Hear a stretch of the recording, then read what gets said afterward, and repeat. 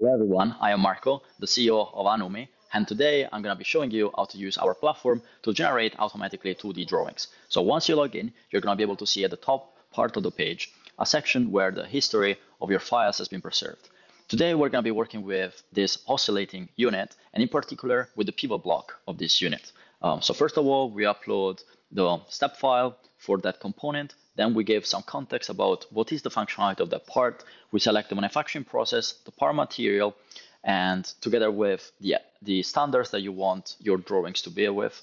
And the key part is that at the end, you upload also the sub-assembly for more complicated components so that our models can have better context regarding which tolerance to give uh, to your part.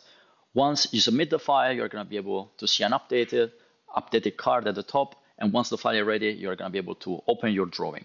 This is how it currently looks like. You can leave feedbacks, you can require customize, um, say changes. And today, for instance, we're going to be asking for um, a custom feature uh, regarding one of the datums. So what you do, you find out the zone where you want the change to be, you leave a comment, you save it, and then our AI model are going to be able to automatically interpret that comment and redo the drawing automatically within a few hours so that you can come back to the platform and see the updated version. And at the end of it, you can also download it in the file format that you prefer. Don't be shy. If you're interested, drop us a message at marco or team at hanomi.ai, and we will be happy to give you a demo.